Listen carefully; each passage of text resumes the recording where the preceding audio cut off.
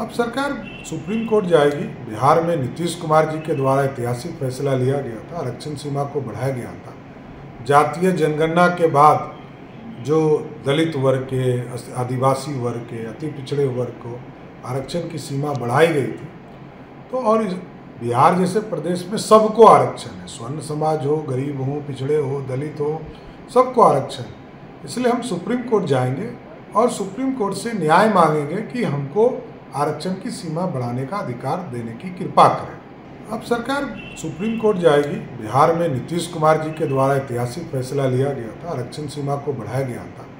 जातीय जनगणना के बाद जो दलित वर्ग के, आदिवासी वर्ग के, अति पिछड़े वर्ग को आरक्षण की सीमा बढ़ाई गई थी तो और बिहार जैसे प्रदेश में सबको आरक्षण है। स्वर्ण समाज हो, गरीब हो, पिछड़े हो, दलित हो, सबको आरक्षण।